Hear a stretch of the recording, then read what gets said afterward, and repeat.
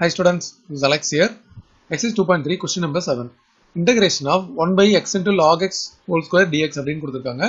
இதை கொஞ்சம் ரீரைட் பண்ணணும். எப்படின்னா 1 by log x whole square தனியாக எடுத்துட்டு இந்த 1 by x dx இருக்கு. ஸோ இதை நம்ம dx by x அப்படின்னே போட்டுக்கலாம். இப்போ இதில் ஒரு இது நம்ம நோட்டீஸ் பண்ணணும். Log x ஓட டிஃபரன்சியேஷன் 1 by x அதுதான் நமக்கு இந்த இடத்துல இருக்கு. அதாவது இப்போ y is equal to log x அப்படின்னா இதோட டிஃபரன்சியேஷன் dy பை dx வந்து 1 பை x. அப்போ இதை நம்ம ரீஅரேஞ்ச் பண்ணும்போது நம்ம 1 by log x whole square அப்படின்னு போட்டுட்டு இதை d ஆஃப் log x அப்படின்னு போட்டுடலாம். ஏன்னா இதை நம்ம டிஃபரன்ஷியேட் பண்ணாதான் 1 பை x அப்படின்னு வரும்.